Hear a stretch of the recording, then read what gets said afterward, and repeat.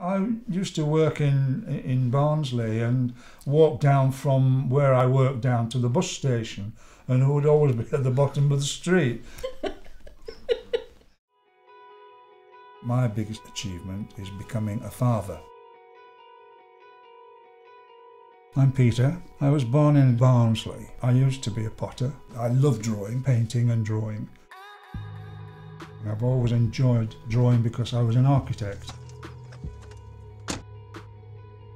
I designed the building on the seafront at Llandudno. This building was opened officially by Diana and Prince Charles. I've designed and built so many buildings and to be honest I can't remember any of them. That's one of the cruel things of dementia. The other day when I was trying to write my own my own name and all of a sudden I thought, what the hell's that I written? and it was gobbledygook. Though I, I now know that I have limitations, I really just carry on with pretty normal life. I like to go walking and it keeps me fit.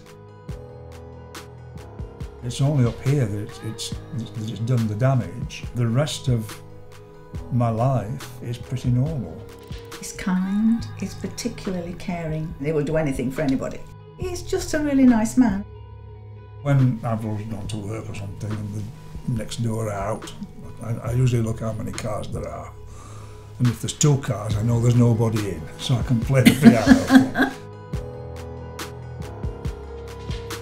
Best thing since sliced bread, as far as I'm concerned. If you meet somebody with dementia, have patience, be kind.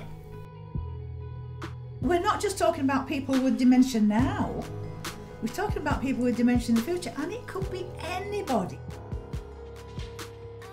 These things, they just happen as quickly as that.